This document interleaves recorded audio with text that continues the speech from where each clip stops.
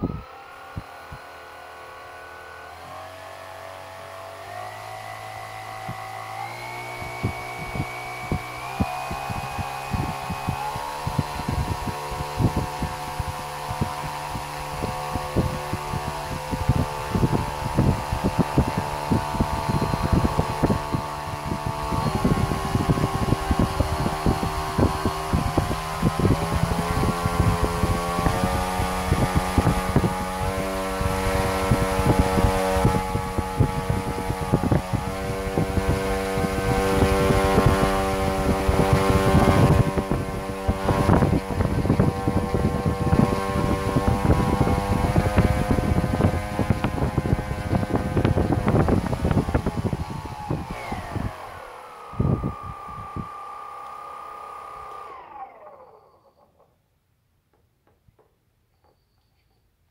এটা আরও স্পিড হবে, তো এর চেয়ে বেশি স্পিড বাড়ালে এখানে রিস্ক আছে, দুর্ঘটনা ঘটতে পারে।